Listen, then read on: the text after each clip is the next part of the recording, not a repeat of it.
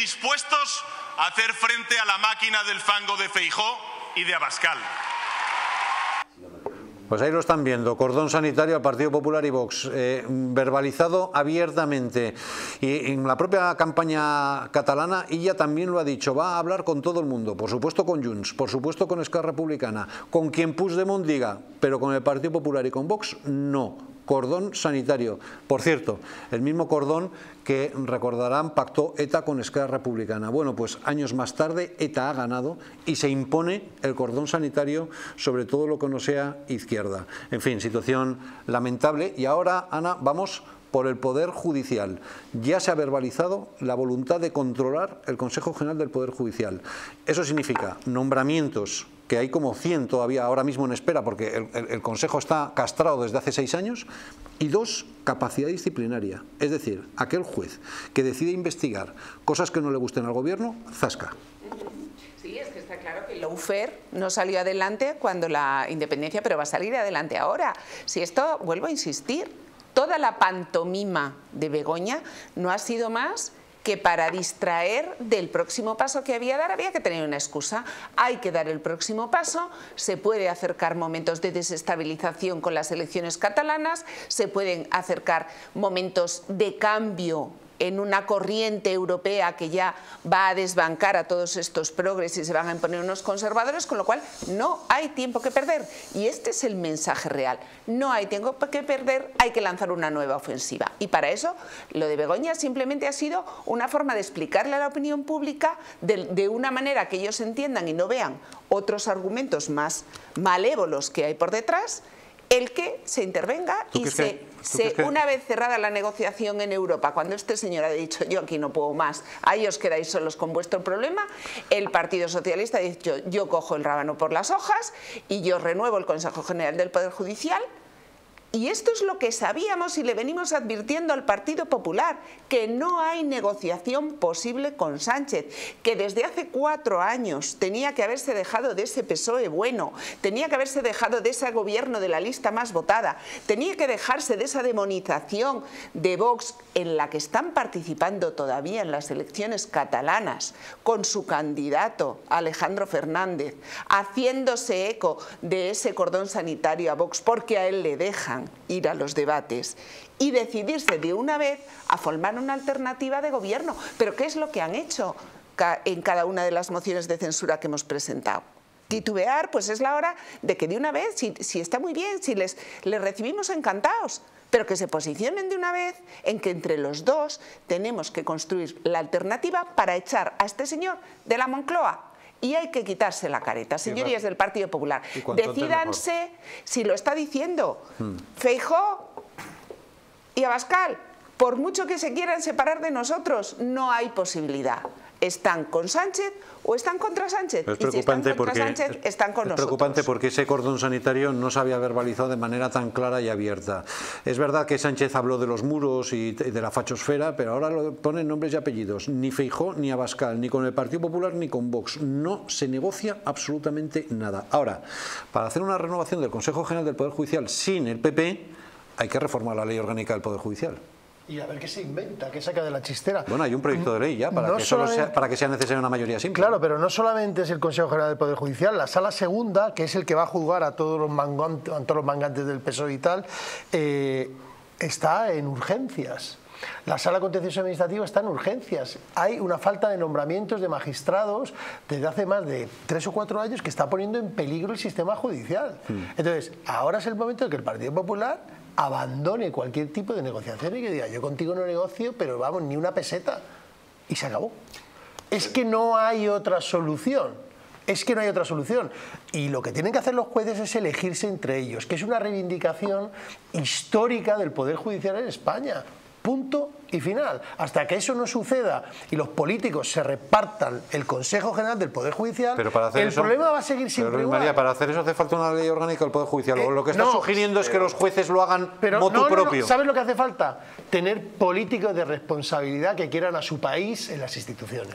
Y eso no está sucediendo ahora mismo. Ese es el problema. En este caso gestores, en este caso gestores, tener buenos gestores para que te realicen la función pública, que los ha habido siempre. Es decir, el, el político, es decir, ¿por qué tengo que yo yo consentir Pero, que un señor que es filósofo gestione como ministro de Sanidad una pandemia Exacto. en la que ha muerto tanta gente? Lo normal no es poner a un médico o a alguien que tenga conocimientos en su profesión. Bueno, ha puesto Digo una médico- es por, médico y por la- que- por lo lógico. Bueno, digo lo lógico, es decir, y teníamos a un filósofo, que, que Descartes era muy importante por lo de la duda metódica que a mí me, ya me causa todo el gobierno. Pero, pero coño, pon, pon a alguien, pon alguien de responsabilidad.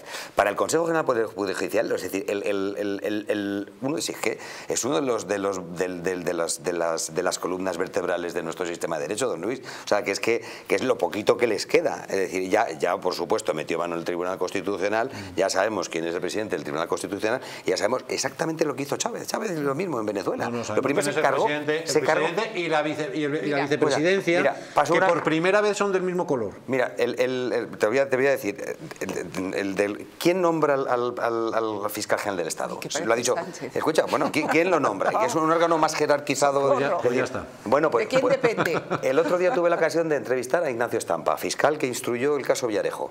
Sí. En- y, y bueno, y que ya sabéis que en el programa que Sí, tengo y sí, tal. sí, sí. Bueno, pues, pues él, sí, todavía no le han podido tirar por, por tierra absolutamente nada desde el punto de vista judicial, judicial que, que contraponga lo que él dice y Pero cuenta. fueron a por él. Es decir, claro, no, no, directamente. Ahí su a por compañero. ¿Por qué? Pues porque estaba investigando una serie de, de- de tramas que, que vinculaban directamente al, al- al abogado que ahora mismo maneja todo en España, digo, del gobierno, que es, que es el Mm. señor Gazón. Es decir, con lo cual directamente la apartaron de la de, de ese... de ese- de- o sea, y eso, claro, lleva no sé cuántas, cuán- digo, procedimientos que lleva ganados uno tras otro porque no pueden, no pueden decir, no puedes ir contra la verdad. Claro.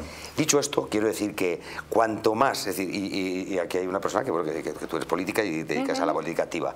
Es decir, todo lo, que, todo lo que toca, sobre todo en el mundo al que yo pertenezco, yo pertenezco al mundo del- de la justicia. Es decir, soy una parte pequeñita del mundo de la justicia, igual Un que operador compañero. jurídico que Un operador ahora. jurídico, exactamente, pero, pero, pero de, de mi noble profesión, la que me moriré y estoy orgullosísimo de ejercer, eh, don Luis, es decir, el- todo lo que toca el mundo, la política, lo ponzoña. Es decir, y tiene, tiene que ser aséptico. Ahí sí que tiene que haber un cordón.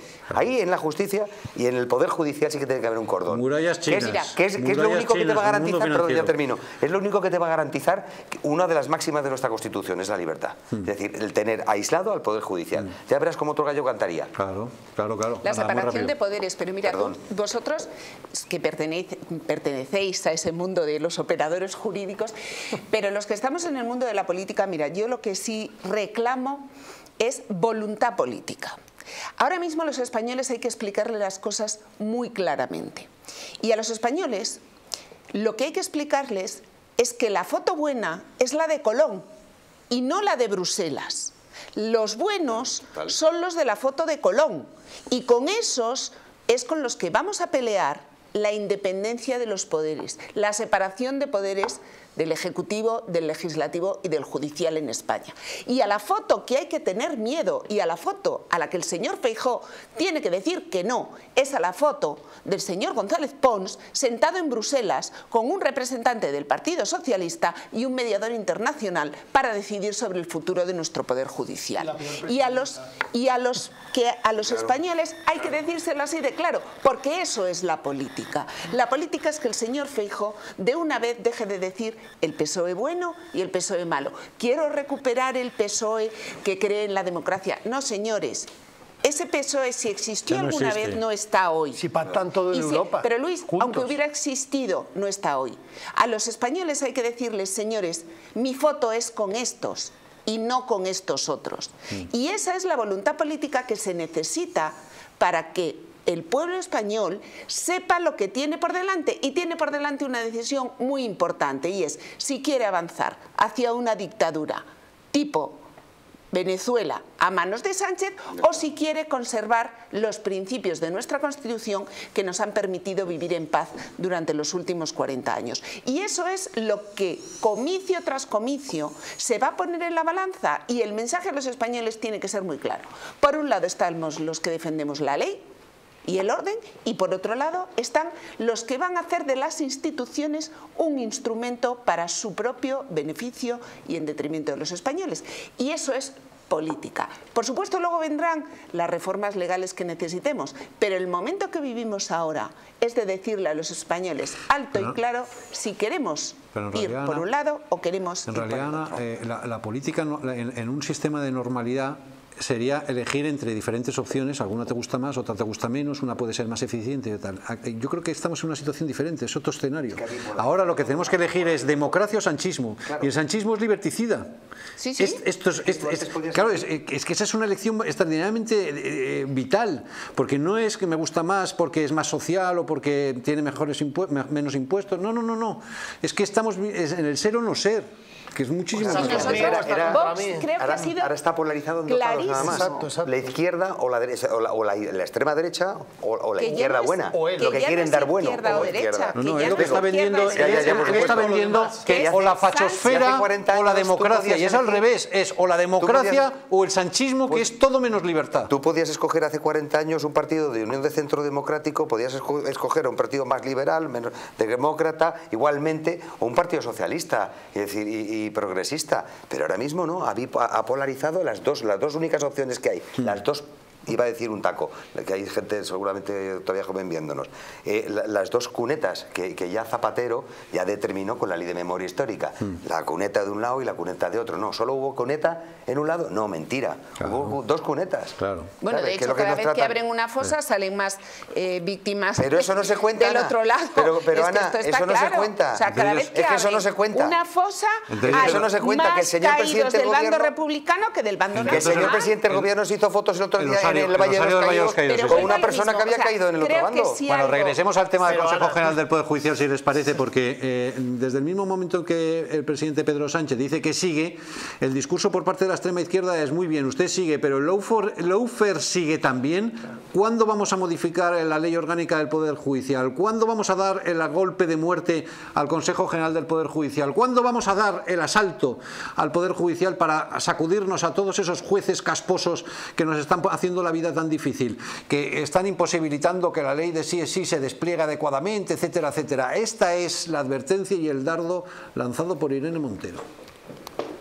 Primero es re- renovar el Consejo General del Poder Judicial sin el Partido Popular. Es una propuesta que ya hemos trabajado muchas veces con el Partido Socialista. Al final el PSOE siempre prefiere tender la mano al PP, negociar con el PP, hacerlo con el PP, que es cómplice de ese golpismo judicial y mediático con absoluta claridad y no tienen pudor en reconocerlo. ¿no? Eso sí que no le causa rubor reconocerlo, que quieren controlar por la sala segunda, por la puerta de atrás al- a la justicia. ¿no? Eso decía el PP en sus chats. Pues hay que renovar el Consejo General del Poder Judicial sin el PP y hemos registrado una ley para que eso pueda ser posible con la mayoría democrática y plurinacional en el Parlamento. Lo hubiésemos tenido que hacer en la anterior legislatura, que había una mayor eh, y más, más fuerte mayoría de izquierdas progresista plurinacional, pero ahora también existen los números para poder hacerlo y quien falta para eso es el PSOE.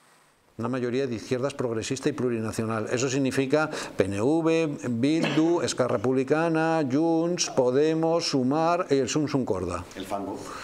¿Eh? El fango. La mayonesa. ¿Eh? Porque Óscar Puente ya sabéis que dice que, que Bildu es una fuerza progresista. Antes era con Bildu no se podía pactar, ahora ya es una fuerza progresista. Pero yo no tengo ninguna duda de que Feijó lo que quiere es la política que lleva en Europa, es decir, pactar con un PSOE, poner a una presidente como von der Leyen así, o sea, para él estaría cómodo ahí. Sí. O sea, eso es lo que él quiere. Lo que pasa es que teniendo a Sánchez, claro, él es imposible que pueda hacer eso. Y no se dan cuenta de que Sánchez ha llevado la política a la polarización absoluta y ya es la democracia o él, ni el sanchismo, él personalmente. Entonces, o Feijóo abandona completamente cualquier tipo de negociación y inicia a manifestarse en contra de un golpe a la democracia, o estamos abocados a una reforma que va a suponer que va a controlar el Consejo General del Poder Judicial, que va a nombrar los jueces de la sala segunda y de la sala contencioso administrativo Pero y esta- que la democracia esta- se ha roto. Pero esta, esta reforma es Madre posible desde el punto de vista técnico-jurídico. Yo con Sánchez considero No, no, todo no. posible. No, no, pues si me refiero, Todo- me todo refiero a los posible. números. Basta con 176 La- la para amnistía- modificar la ley orgánica del Poder La ley de Judicial. amnistía para ti es, Es que- constitucionalmente. No, no, claramente no. Pero mi pregunta es, ¿basta con 176 o es materia de ley orgánica y por lo tanto hace falta eh, hace- eh, es, es- es Mayor- mayoría reforzada? Yo creo que Pues entonces, entonces no se podrá hacer. Hacer, porque ese discurso de ahora tenemos una mayoría suficiente, Va a aunque buscar nos la gustaría- fórmula. ¿Eh? Va a buscar la fórmula. ¿Y cuál es? Bus- Pero Pues da la- igual, pues modificando, igual. modificando algún Mira, reglamento que sí, pueda exacto. habilitarle para poderlo Del hacer. Consejo, Mira, reglamento la- del Consejo. recordar que las elecciones catalanas, ¿por qué se han convocado? Porque la presidenta pretendía sacar adelante la ley de presupuestos generales del Estado sin tener aprobado el techo de gasto que no es posible y habían buscado el subterfugio legal para decir que a pesar de no estar aprobado el techo de gasto, la ley de presupuestos generales del Estado salía adelante. Y si no ha salido adelante es por la convocatoria de elecciones catalanas. Es decir, yo estoy totalmente de acuerdo contigo que da exactamente igual lo que pongas, si ya da exactamente igual, si la Constitución desde el momento en el que se tramita la ley de amnis- amnistía está muerta y está digamos, en los últimos estertores y tenem- vivimos momentos decisivos para el cambio de régimen. Entonces, no dudéis que si quieren seguir adelante con este proyecto, buscarán la forma de hacerlo. Por eso es tan importante que de una vez, igual que nosotros nos hemos posicionado desde el primer momento y hemos denunciado todas y cada una de las tropelías, los estados de alarma inconstitucionales. Yo he estado durante 20 días que ahora dicen que no nos gasearon en Ferraz. Si es que ahora dice Marlasca que no nos gasearon en Ferraz y yo respiré el gas tóxico en Ferraz el primer día. Y si no me dieron un porrazo fue porque tuve tiempo suficiente de meterme en el parking a coger el coche. Y está inundando de multas a los agricultores, mil euros, a centenares de miles de multas que están llegando al sector primario por orden directa de una instrucción de Marlaska. entonces- Y, ya se ha olvidado todo el mundo Bueno, de ellos. ¿eh? pues después de más de, o sea, cuando estábamos más de un mes sufriendo las cargas policiales, que conozco personalmente a muchos de los cargados y metidos en el calabozo durante 48 horas por manifestarnos pacíficamente en Ferraz, resulta que se convoca una manifestación por parte del Partido Popular y llevan un disjockey. Sí, sí, pero Eso está confunde inventado. a los es Pero españoles. ¿sabe quién tiene la Es culpa que de todo es eso? Vale, pero lo ¿Sabe que te quién tiene la culpa de todo eso? El es delegado el del gobierno. ese es ¿Quién, quién nombra al delegado del gobierno? ¿Quién está del delegado del gobierno? Que me parece muy pues bien. es el que valida las... Hombre, el las- disjockey yo no creo que lo llevara el delegado del gobierno. Pero, pero sí porque es de la y misma aquello, cuerda. Estoy y seguro que es de la aquello misma era una cuerda. fiesta. No, aquello pero- era una fiesta. Entonces, es momento de dejar de decir que esto es una fiesta, que nos va a salvar Europa. Señores, que no nos va a salvar nadie más Nadie. que nosotros. Absolutamente. Y Bruselas, para- Bruselas no va a hacer nada si los españoles no hacen nada. pero es lógicamente, es pero Bruselas va a meter, consejo a un tercero Bruselas y- se va a meter en un problema interno. Anda que no se sacude todos los problemas internos. Entonces, vuelvo a decir lo mismo. Creo que nosotros otra cosa no. Pero claros hemos sido de- contra Sánchez desde el primer momento que hemos puesto un pie en las instituciones. Y hemos advertido una detrás de otra las veces en las que el Partido Popular se ha equivocado posicionándose con Sánchez y no con nosotros. Bueno, señores, yo creo que han llegado horas decisivas y que llega el momento en el que tenemos que construir, como dijo nuestro presidente, es nuestra obligación para con la historia de España construir una alternativa viable a la dictadura que quiere imponer Sánchez. Y eso empieza por abiertamente decir que estamos Ana, dispuestos a construir esa Y eso, y alternativa. eso ayudaría mucho, Ana, eh, que ambos, Partido Popular y Vox, identificaran quién es el enemigo, que se llama Pedro Sánchez. Yo creo que lo he, lo he dicho y eh, Santiago Yo- Abascal bueno, yo lo ha dicho alto y Yo claro. creo que muchos españoles lo que sentimos es que para Vox el enemigo es el Partido Popular, para el Partido. Popular el enemigo es Vox, y yo creo que eso no ayuda absolutamente es nada, lamentable mientras tanto está ahí. Pedro Sánchez sigue con su rodillo. está. Y que Yo Sánchez lo tiene todo planeado. Y y está encantado comiendo planeado. palomitas. No, no, y, pasa- no, y- y él encantado de que Claro. Vox, Bueno, Hombre, él está feliz. Encantado que exista Yo creo que claro. los españoles, y ahí eh, también os diría que, que tenemos que estar muy al tanto de que todos estos medios no nos vayamos a creer que solo eh, van contra PP y, eh, y Vox por separado, sino que también va precisamente a enfrentarnos unos con otros. Claro, por eso. Yo creo que la realidad es que Ese estamos en cuatro gobiernos Estamos Eso en es. cuatro gobiernos que están tomando medidas importantes para todos los españoles. Mm. Todos los consejeros de Agricultura de esos gobiernos que se han formado entre PP y Vox se han personado en el Parlamento Europeo a defender los intereses de nuestros agricultores.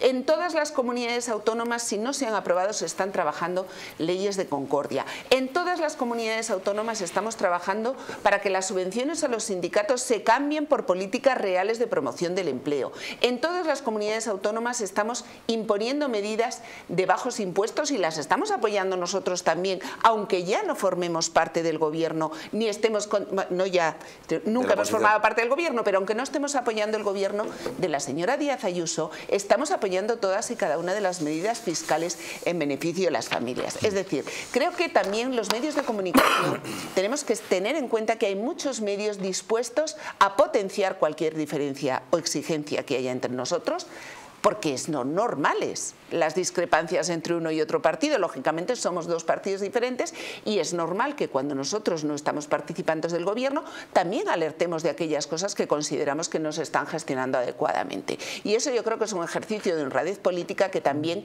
los españoles agradecen, porque somos dos partidos distintos. Pero vuelvo a insistir, día tras día se cosechan éxitos no solo en los gobiernos autonómicos. Ayer mismo estuve en Móstoles, en donde gobernamos con el Partido Popular.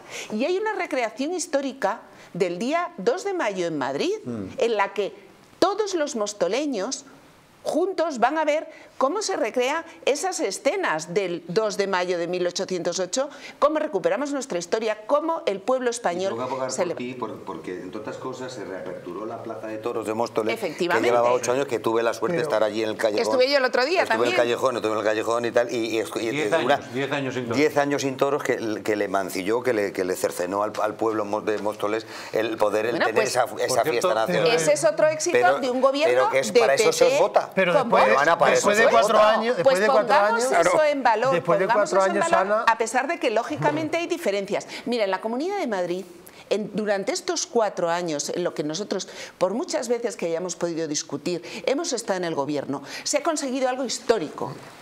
Aunque no haya llegado durante la legislatura, que fue la reversión de las leyes trans que han despertado también la ira del señor Sánchez. Y eso se ha conseguido, nos hemos peleado mucho, te lo reconozco, pero se ha conseguido y eso es bueno para todos. Sí, sí. Pero después de cuatro años la situación es mucho peor, con todo lo que acabas de decir, del poder que tiene Sánchez y lo que está haciendo Sánchez.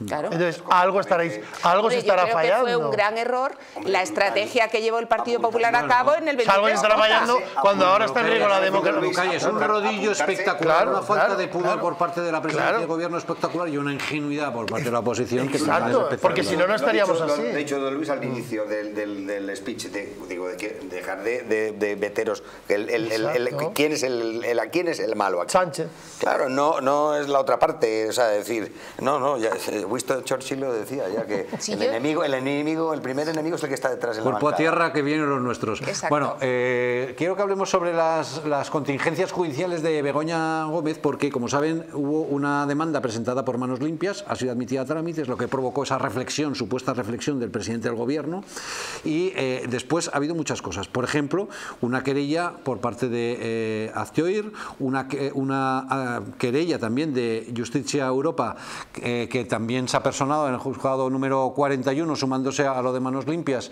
con una, una petición de 10.000 euros, creo recordar, Luis María.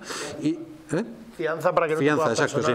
Y, eh, y, creo que también ha habido otras querellas. Eh, Luis María, ¿tienes la sensación de que hay una avalancha ya de querellas y de acciones judiciales y que esto es imparable? Pues vamos a ver, es decir, esa denuncia la interpone Manos Limpias, que lo que hace es lo que se llama vulgarmente en el argot de la ley de enjuiciamiento criminal, una noticia criminis. Es decir, tú escuchas que se ha cometido un delito, tienes una serie de indicios y te vas a un magistrado y le dices, mire, yo le doy estos indicios. y no estoy acusando a nadie. Es lo que hace Manos Limpias. El magistrado observa, analiza y ve que hay indicio de racionalidad, secreto de sumario, lo cierra e inicia la investigación. Eso en el 41. Por otra parte, la querella de manos limpias la presentan ante la Fiscalía Anticorrupción. Se personan también el procedimiento de manos limpias. Y luego está... No, ¿cómo, No, no, hace hoy presenta ante la Fiscalía y ante la Fiscalía Europea. Sí, sí, es, exacto. Denuncia, denuncia, no querella. Hace, bueno, denuncia. Denuncia y luego querella, y luego querella en el procedimiento de manos limpias. Y la tercera, que es Pegasus, que se reabre en todo este periodo entre que el magistrado abre diligencias, a Teoir, bueno, pues, eh, perdón, a Teoir sí presenta la querella y la denuncia. Eh, yo creo que está todo relacionado. Está relacionado porque donde ha habido las cesiones a Marruecos ha sido el sector primario, está relacionado porque donde hay relaciones en la seguridad del Estado, que es el Sáhara, está relacionado porque la tercera pieza de toda esta historia es la mujer del presidente, y entonces aquí hay un nexo de unión respecto de todo. ¿Qué está sucediendo? Por ejemplo, nosotros de acusación particular, y creo que vosotros también, 10.000 euros de fianza, una fianza completamente desproporcionada. Si tú vas a 10.000 euros por fianza por cada procedimiento que se vaya abriendo, al final impides a la acusación popular ejercerla. Y ojo, la Fiscalía en ese procedimiento, ¿qué ha hecho? solicitar el archivo. Pero, ¿qué ha hecho? No ha presentado reforma ante el juzgado, ante el juez instructor. Va directamente a la audiencia provincial. Si la audiencia provincial la resuelve y dice archivo de las actuaciones, todo ese bloque se va a cerrar. Esa es la situación ahora mismo judicial que nos encontramos. Eh, bueno, yo espero, espero que se investigue si existen indicios de criminalidad respecto de la conducta de Begoña Gómez y que sean los jueces los que decidan si se ha cometido un, no, un delito, no nosotros, no nosotros, sino que sean los jueces. Ahora bien, que se les deja a los jueces trabajar. Tú no puedes sacar a la hija de un magistrado públicamente porque sea del PP, de Vox o del PSOE o del quien sea, que la han sacado, me parece que fue en un medio de comunicación. Esta es la hija del magistrado. es, que, eso no es Venezuela. Eso, no, eso no, es, que además facilitaron su teléfono y la están acosando eh, desde quien sea.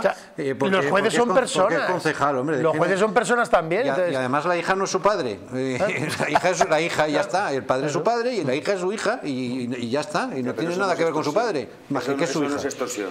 claro, eso, exacto, eso, es lo que decía antes el, el Coletas, ¿os acordáis de cuando... Jarabe democrático. El jarabe democrático para cuando lo recibe, el que eso sí que es de otra... Ah, no, mega. es, una, es, que tiene la piel muy fina cuando se trata de ellos. No, yo creo que hay una cosa interesante también de, de la... vamos, de perdonarme porque como yo no soy del mundo, pues quizá utilice las palabras, los términos no de, de forma demasiado adecuada. Pero cuando denuncia Manos Limpias y presenta la documentación, hay una gran crítica, ¿no? La crítica del PSOE se basa en que son eh, recortes de prensa, artículos de prensa, ¿no? Yo la verdad es que leí un, artículo que me pareció muy interesante y es que efectivamente si esos recortes de prensa eh, son noticias que no son ciertas, eh, efectivamente debería haber denunciado posteriormente, pues lógicamente que esos indicios no son reales. Por tanto, si lo que ha hecho Manos Limpias es hacer un recopilatorio, digamos, de todos los indicios de diferentes noticias que hayan podido ser, aparecer en prensa y que todas ellas están contrastadas y que ninguna de ellas han sido denunciadas, pues yo creo que también los periodistas debéis reclamar que son indicios perfectamente presentables, ¿no? Ante que un juez diga, de hecho, la pues fiscalía, de hecho, la fiscalía, la fiscalía ya ha dicho que eh, las noticias de prensa tienen, tienen, tienen eh, eh, presunción de, de, de veracidad, claro. es que, obviamente, obviamente son una base de ¿sabes por qué? Son una base de El otro día, Luis, en la, en la comisión de investigación sobre las mascarillas, que yo os recomiendo que las veáis. Es un buen tostón, pero hay cosas que hay que verla. Enriqueta Chicano, que me estabais recordando ahora eh, a Enriqueta Chicano porque es la presidenta del Tribunal de Cuentas, como sabéis, por supuesto socialista de carné, ¿no? Decía, no, no, es que esto está sometido a un proceso contradictorio muy largo. Bueno, si hay algo que está sometido a un proceso contradictorio en este país es la prensa. Es decir, porque en ese proceso contradictorio puede participar cualquier español que lea la noticia y diga esto es mentira y yo voy a escribir y voy a decir que este señor está mintiendo. Es decir, no hay procedimiento contradictorio. Entonces, más, más eh, grande podríamos decir que las noticias que aparecen en la prensa escrita. Por tanto, yo creo que es importante decirle a los españoles, yo no conozco a manos limpias, pues os, lo aseguro, ni tengo nada que ver con ni ellos. Yo, ni, creo ni, ni, ni, sé siquiera de, qué, de qué tendencia política son y no me importa. Lo que sí quiero es que la gente entienda que una noticia de prensa, porque nosotros hemos sufrido, y lo explicó muy bien Rocío Monasterio, ha sufrido el ataque indiscriminado de la prensa de forma sistemática, con periodistas en la puerta de su casa, viendo cómo se leía con sus hijos, con mentiras, y todas y cada una de las veces las ha denunciado. Y aunque sea así de pequeñito, se han visto obligados, particularmente en Lo País, a publicar o la rectificación o a perder. Es que por, cierto, por cierto, Ana, rectificación ilegal, porque la ley obliga a que la rectificación sea en el mismo estilo en el que se produjo la, Es que es ahí, es ahí, porque si ella denunciase... La misma capacidad tipográfica, Si ella denunciase que fuese falso y se acredita en una denuncia de calumnias y injurias que es cierto, Sí. Ostras. Claro, claro, claro, Entonces, ¿por qué no se ha denunciado? ¿Por qué motivo no se ha llevado eso a un tribunal? Es decir, el periodista está mintiendo.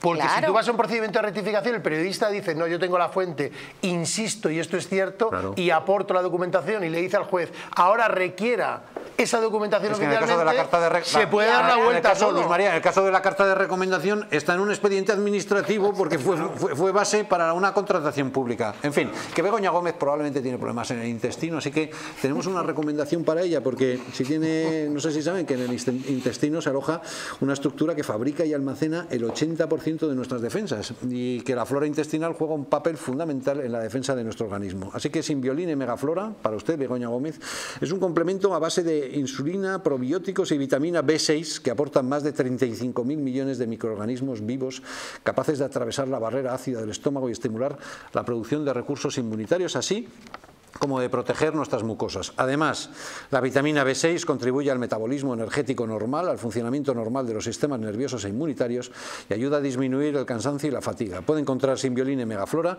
en su tienda habitual y en Parafarmacias Mundo Natural o directamente en la web parafarmaciamundonatural.es o llamando al teléfono 91 446 0000. Simbioline Megaflora de Mundo Natural. Bueno, nos vamos a ir a una breve pausa publicitaria y a la vuelta analizamos ese rodillo totalitario y esa deriva bolivariana del gobierno. Enseguida. Si se queda, estoy convencido, muchos en el eh, Partido Socialista dicen, si se queda, va a ir muy fuerte con la renovación del Poder Judicial, con los medios de comunicación.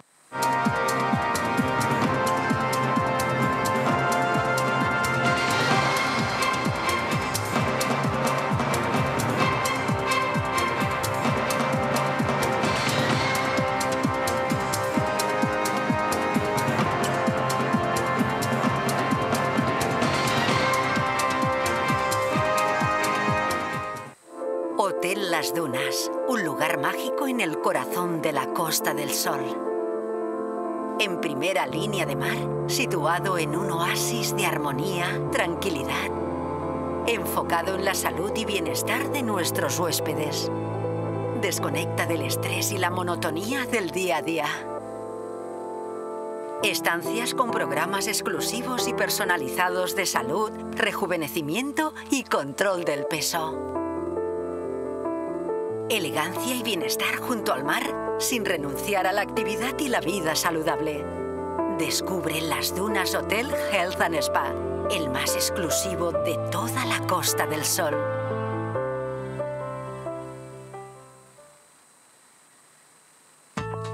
La presencia del colágeno en la composición de huesos, piel, ligamentos, cartílagos y tendones es imprescindible para frenar su deterioro. Sin embargo, a medida que envejecemos, su producción se reduce. Colacel Antiox de Mundo Natural combina en una misma toma colágeno hidrolizado puro, antioxidantes, ácido hialurónico y vitamina C que contribuye a la formación normal de colágeno. Haz del tiempo tu gran aliado. Colacel Antiox. ¿Te gustaría perder esos kilitos de más? ¿Volver a utilizar aquellas prendas que tanto te gustaban? Naturhaus te trae la forma más rápida y eficaz de hacerlo.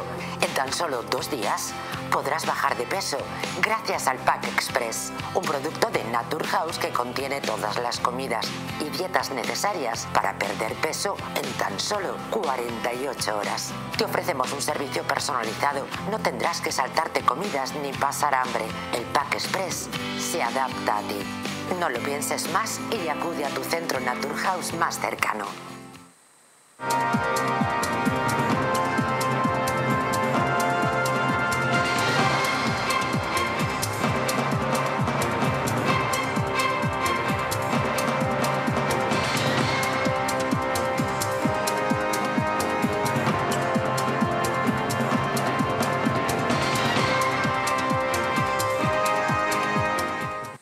Sino que me tenéis dispuestos a hacer frente a la máquina del fango de Feijó y de Abascal.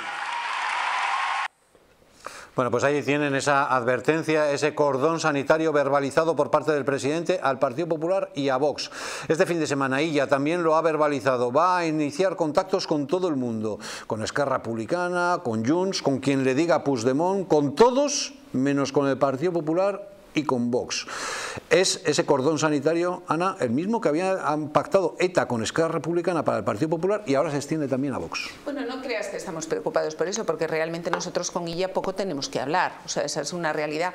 Entonces, bueno, pues si no nos llaman tampoco tenemos ningún problema, ¿no? Porque sabemos que nuestras posturas son radicalmente enfrentadas, entonces la realidad es que no, no hay posibilidad de negociación. Nosotros somos claros, nosotros vamos a defender que Cataluña es España que solo hay una forma de entenderse catalán, que es la de ser español.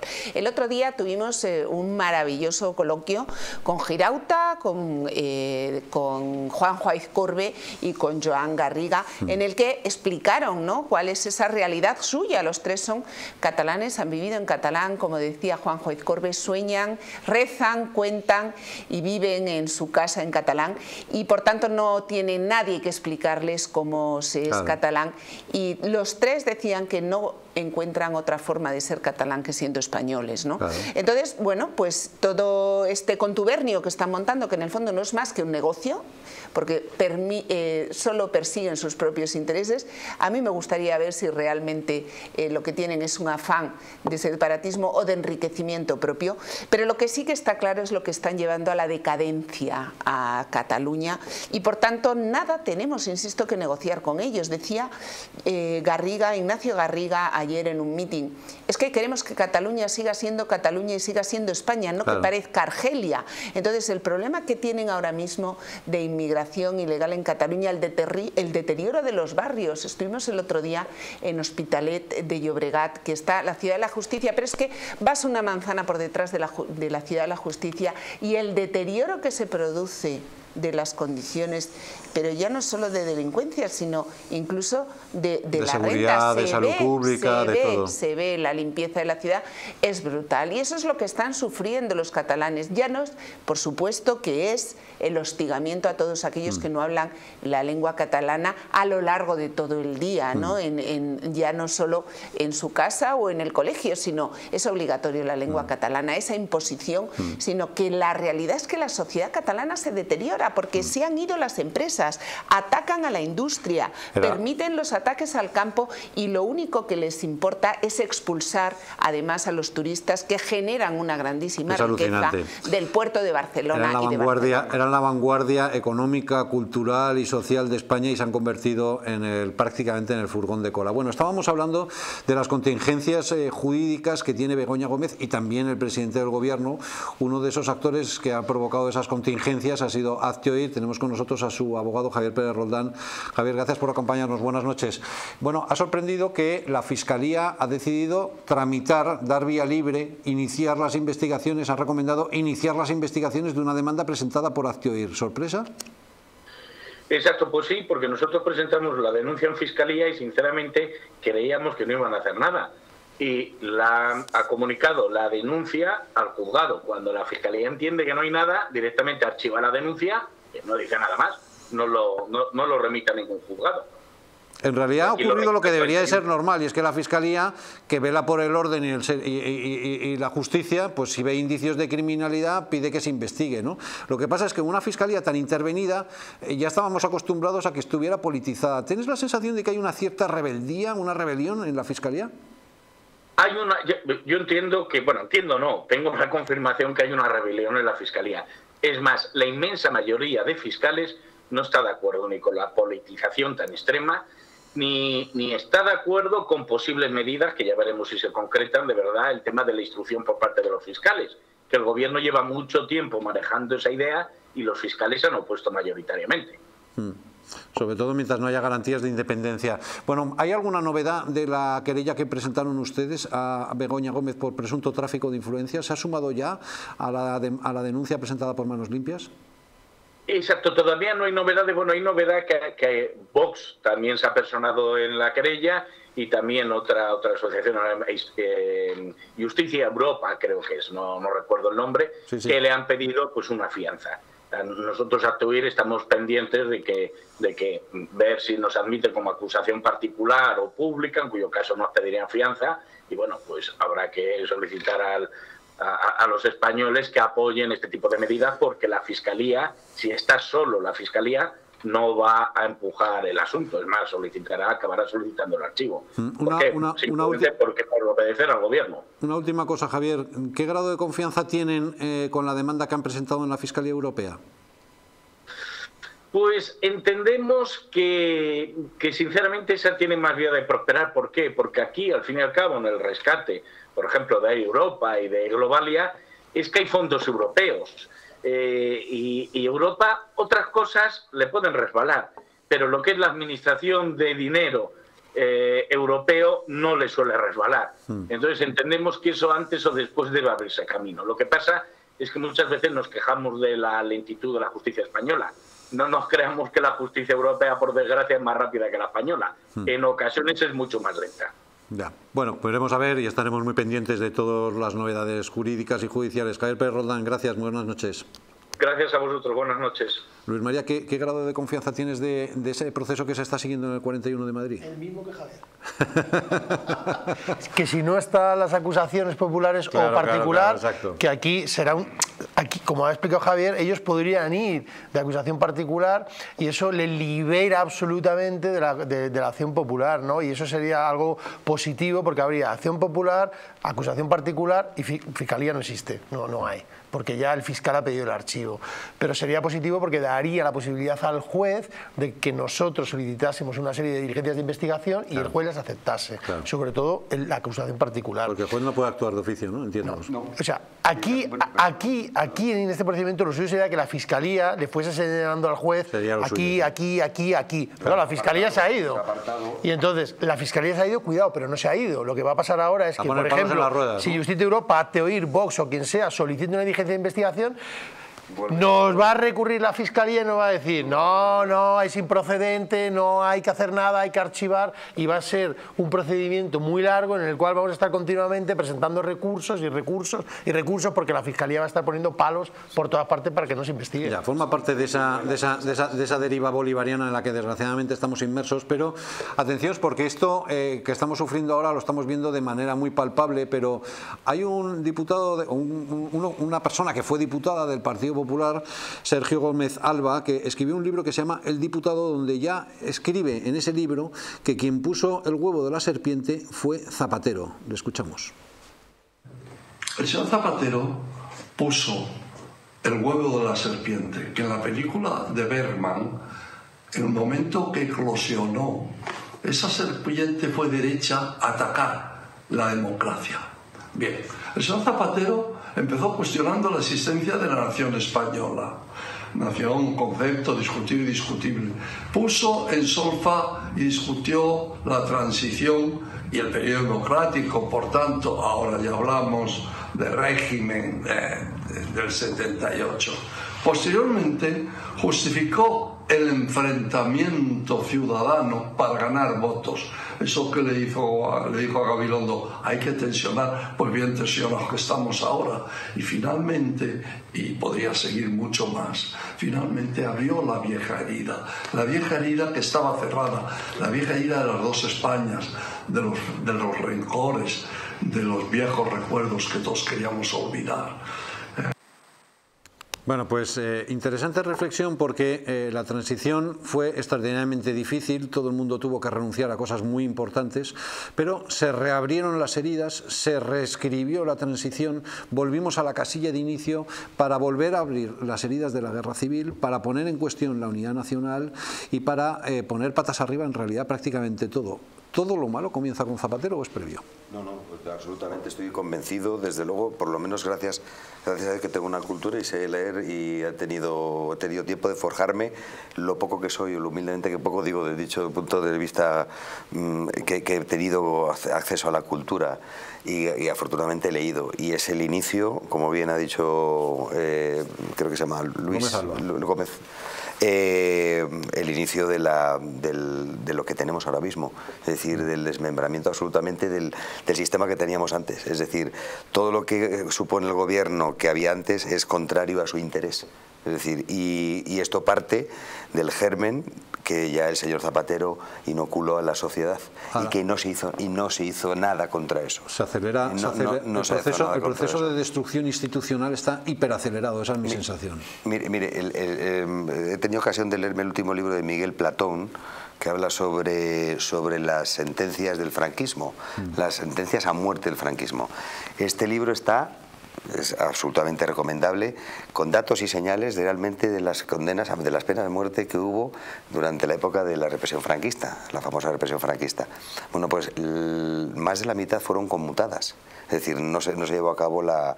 Pero todo esto está investigado con los documentos que, que han aparecido casualmente, como siempre aparece, como en los del Valle de los Caídos, que aparecen siempre documentos de los que están allí enterrados. Bueno, pues han aparecido los expedientes que llevaban los abogados de los que estaban reclusos y que estaban condenados a muerte. Dicho esto, ¿por qué lo digo? Pues porque se ha soltado tanta mierda, tanta falacia sobre nuestra historia, sobre todo la reciente, ya no por la, crónica negra, ya, ya Jesús Ángel Rojo se encarga de defenderla con, con- los libros bien defendida, es decir, pero ya la, crónica de, de lo que nosotros ya hemos experimentado. Mire usted, yo tengo 54 años, yo, yo, he, crecido, yo he crecido el final del franquismo con la democracia, yo he, vivido, yo he vivido un momento en el que yo he tenido ocasión de poder estudiar, de poder tener acceso a una cultura, de poder tener una serie de, una serie de garantías, garantías sociales, que son los que tienen que darme mi, mi formación y mis, mis partidos políticos, que para eso, para eso mm, eh, comulgo o, o- o les doy, el- les doy la posibilidad de poder... Escucha, dice Fernando con cierta institucionalidad que hoy desgraciadamente se está destruyendo. Es que hay cosas que antes se daban por hechas, pero ahora ya se están poniendo en cuestión. La unidad nacional está en cuestión. eh, eh, pero ya empezó la bandera. Pues ya, ya empezó la bandera, don Luis. Ya empezó la bandera, la Casa Real, la, la- la función de que tenía la, la Casa Real y si realmente era una institución que venía directamente impuesta por el franquismo o no. Es decir, todo eso lo han inoculado en, en un sistema educativo, en gente que es grave. joven, que viene, que viene con una sabia, que no, que tiene la misma, que no tiene la, no, escucha, no tiene la mismo abono, el, el- mismo, el, el mismo abono para que crezca y germine realmente lo que, lo que han estudiado, lo que, lo que Ana.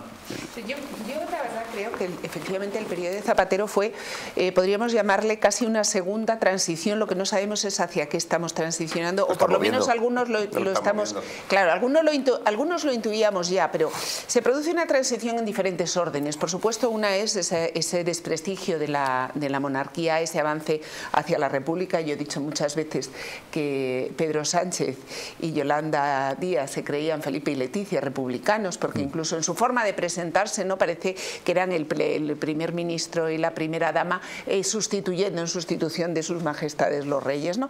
Pero se producen otros dos procesos. Uno es el de reescribir la historia a través de esas leyes de memoria democrática que impulsa Zapatero, que lo que pretenden es reescribir la historia anterior. Y después, desde mi punto de vista, se produce un segundo proceso de desmembramiento en España que, de España que lo ha anunciado muchas veces y del que ha advertido muchas veces Jaime Mayor Oreja, que es el fin, el federalismo la imposición del federalismo. Ha acabado la transferencia de las competencias hacia las comunidades autónomas y emergen todos estos varones, y en esto también ha participado el PP, ejerce, emergen en ese momento, en el momento de Zapatero, emergen esos varones territoriales como actores principales de la política nacional. No se produjeron entonces, pero lo hemos visto durante el COVID, esas cumbres de jefes de gobierno autonómicos que parecían casi un G8. No, no, es que estamos vendiendo, es que hemos visto a Ayuso recibir al presidente de gobierno rodeados de banderas que parecían Xi Jinping. Es que era una, es una cosa esperpéntica. Entonces, todo eso lo ha abonado Zapatero, abonando el separatismo, el nacionalismo y haciendo que todo el resto de comunidades autónomas empiecen a participar de los beneficios, de los supuestos beneficios de parecerse a ese nacionalismo, aunque no digan que lo son. Es la condonación de la deuda sí. de, Valencia, es los, eh, los escándalos de los seres en Andalucía disimulados, es el emerger de todos esos estados plurinacionales a los que abonó y que el partido, me vais a perdonar, ninguno de estos tres enemigos fue combatidos por el gobierno de Rajoy.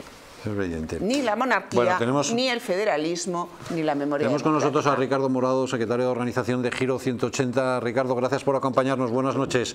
Bueno, eh, estamos hablando de esa deriva totalitaria en la que eh, estamos inmersos. ¿Esto cómo se frena? Pues poniendo pie en paredes de la sociedad civil en primer lugar, porque por desgracia asistimos a, un espectáculo dantesco en el que el gobierno, a través de su presidente, se ausenta de sus funciones mientras que en los últimos días podemos eh, leer noticias sobre la, baja tasa de actividad empresarial, sobre nuevas subidas del paro, sobre nuevas subidas de precios. Ese tipo de cosas que le interesa a la gente de la calle y que, sin embargo, nadie se está ocupando de, nadie se está ocupando de ellas. Y asistimos a ese espectáculo en el que un gobierno no, no, se ocupa de los problemas de los españoles, eh, se ocupa de problemas del cuore, eh, que parecen extraídos de un culebrón turco más que de una realidad de un país y la oposición, por desgracia, desde nuestro punto de vista, se dedica a echar cálculos electorales y, tampoco está haciendo aquello que, se podría esperar. Eh, tras unos acontecimientos tan graves como los del otro día. Ricardo, Ricardo, ¿tienes la esperanza de que la justicia vaya a tomar decisiones importantes, relevantes? Eh, pues, para que la justicia haga eso, lo primero que tiene que tener es independencia, cosa que en este momento está muy en juego. Eh, ya hemos asistido a las amenazas no veladas, sino ya directas, a tomar las riendas también del Poder Judicial por parte, por parte del Gobierno y, estamos a expensas de, de eso. Ojalá suceda nosotros pensamos que, todo pasa por el Poder Judicial en este momento, que, todo pasa porque puedan mm. coger las riendas de la situación, porque al final aquí nos despistamos de lo fundamental, que es que todo esto surge porque hay indicios fundamentados de una actividad eh, ilícita por parte de la mujer del presidente del Gobierno. Eh, y como no hacen más que levantar cortina de humo tras cortina de humo, eh, yo es que me acuerdo el otro día del señor Pachi diciendo, apelando al amor, y al respeto que había que tener por el amor en rueda de prensa ante los medios de comunicación y se me ponen los pelos como escarpias. Eh, ¿Cómo tienen que estar de desesperados para acudir a ese tipo de argumentación ya? Eh? Eso es, es, es, es, demencial. Y en respuesta ya definitivamente a tu, a tu pregunta, Luis, pues, pues sí, pues, pues efectivamente el Poder Judicial es quien tiene que tomar cartas en este asunto y quien tiene que seguir investigando, porque los medios de comunicación libres como este son los que están sacando realmente la información a reducir. Todos los días salen informaciones informaciones nuevas sobre este, sobre este escándalo. Realmente están en bandeja, solo hay que cogerlas y actuar sobre ellas. La pelota está en el tejado de la justicia y hay que recordar que el Consejo General del Poder Judicial ya advirtió de la ley de amnistía que era un punto y, un punto y aparte, como dice eh, Pedro Sánchez, y eh, esperemos que estén a la altura de las circunstancias. Ricardo Morado, muchísimas gracias. Buenas noches. Muchísimas gracias, un saludo. Bueno, el presidente del gobierno habla de bulos y de mentiras, pero realmente el gran fabricante de mentiras es el propio Pedro Sánchez. Hemos recopilado algunas. Tengo que reconocerle que sería un presidente del gobierno que no dormiría por la noche. Es un gobierno que se va a nutrir de ideas plurales, pero que va a caminar en una única dirección. Con Bildu no vamos a pactar con Bildu, se lo repito, no vamos a pactar. La capacidad de negociar entre distintos. ¿Qué sentido tiene que un político indulte a otro? Ninguno. Absolutamente ninguno. Y yo siento vergüenza de eso. Me gusta el final de todos aquellos indultos que sean por motivos políticos. No habrá ninguno. Propondré al Consejo de Ministros conceder el indulto a los nueve condenados en el juicio del proceso. El independentismo lo que pide, y lo saben ustedes, y lo saben los telespectadores, es la amnistía. Algo que desde luego este gobierno no va a aceptar. En defensa de la convivencia entre españoles, defiendo hoy la amnistía en Cataluña y que desde luego no entra en eh, la legislación ni en la Constitución española. Es perfectamente legal es acorde con la Constitución. De que la justicia española se cumpla tanto dentro como fuera de nuestras fronteras. A usted, señor Casado, se le fugó Puigdemont. Y yo me comprometo hoy y aquí a traerlo de vuelta a España y que rinda cuentas ante la justicia. Con los indultos y con la ley de amnistía estamos haciendo de la democracia española una democracia más fuerte. Por supuesto que me preocupa. Y de hecho lo que más me preocupa es la banalización que se hace por parte de algunos actores políticos de, eh, del concepto terrorismo. Como todo el mundo sabe, el independentismo catalán no es terrorismo. O presupuestos o elecciones. España no puede seguir paralizada. Creo que hay motivos suficientes como para que podamos negociar y acordar unos buenos presupuestos para España y para Cataluña en el año 2025. Y toca hacer de la necesidad virtud. Nunca habíamos tenido un presidente tan sumamente mentiroso. Es absolutamente espectacular la cascada de mentiras, la fábrica de bulas en la que se ha convertido el Palacio de la Moncloa y presuntamente el kiosco que se ha montado para generar negocio. Fernando, muy rápido. Voy a ser, muy breve, de verdad, don Luis. Eh, antes de votar, yo creo que a todos los españoles, por lo menos los que tendría ver este vídeo, ¿no? No, aparte de ver este vídeo, leer El Príncipe de Maquiavelo. Se le acabaría muchísimo. Antes de coger la papeleta de la urna, Es decir, leer ese libro son 200 páginas, 200 y pico páginas, y ya entonces puede usted elegir libremente al candidato. Pues Yo termino como he iniciado. Creo que Pedro Sánchez donde tiene que estar es en las chafarinas, cerca de Marruecos, porque es que no dice nada que sea verdad. Nada absolutamente. Lo bueno que tiene es que si le interpretas exactamente a la inversa de lo que dice, al igual aciertas. ¿sabes? bueno, sí, seguramente. Es capaz de mentir de forma circular, lo mires por donde lo mires. ¿no? Eh, bueno, yo mm, termino como empecé, haciéndome eco de esas palabras de Santiago Abascal.